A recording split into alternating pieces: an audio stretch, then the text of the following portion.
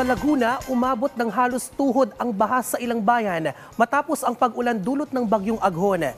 Naipon ang mga pasahero dahil sa madalang na pagdating ng mga sasakyan dulot ng baha. Habang ilang motorsiklo rin ang nagpatay ng kanilang makina para maitawid ito sa baha.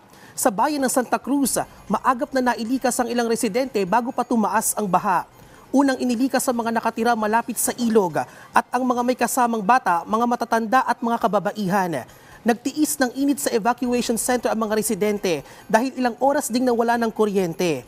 Nagtulungan naman sa pamamahagi ng relief packs ang mga nasalanta ang mga lokal na pamahalaan at ang Department of Social Welfare and Development.